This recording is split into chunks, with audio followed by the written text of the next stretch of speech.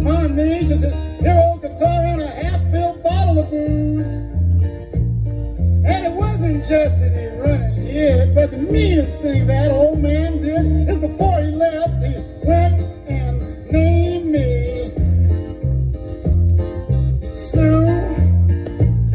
Yeah, he must have thought it was quite a joke, and it got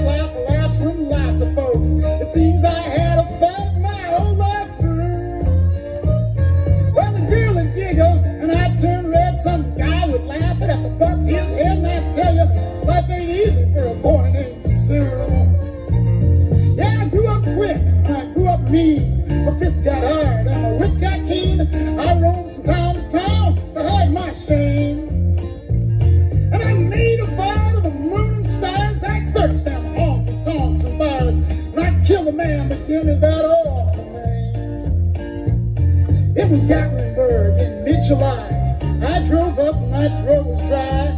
I thought that I'd stop in and have me a brew.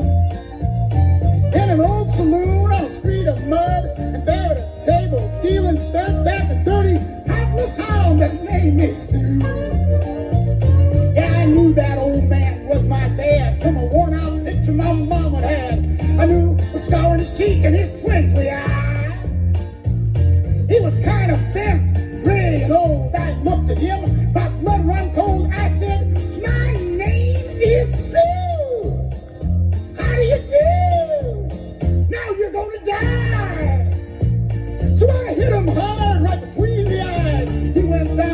My surprise, come up with a knife and he cut off a piece of my ear.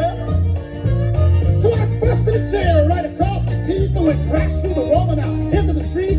I kicking and gouging in the mud and the blood and the beer. Well, I tell you, I fought tougher men, but I really can't remember when. He kicked like a mule and he bit like a crocodile. Then he went for a gun and I heard him curse when he seen first. He looked up at me and he said with a sheepish smile. He says, boy, he says, this world is rough. If a man's gonna make it, he's gotta be tough. And I knew I wouldn't be there to help you along. So I give you that name and I said goodbye. And you knew you'd have to get tough or die. And it's that name that helped to make you strong. He said, you just fought one heck of a fight, and I know you hate me. You got the right to kill me now. I wouldn't blame you much if you do. But you ought to first thank me before I die for the gravel in your guts and the steel in your eye. Cause I'm that heartless hound who named you Sue. What could I do? I got all choked up without a gun. Upon, he called me son, and I come away with a whole different point of view. And I think about him every time I try and every time I win. And you know, if I ever have a son, I think I just might name him Jimmy.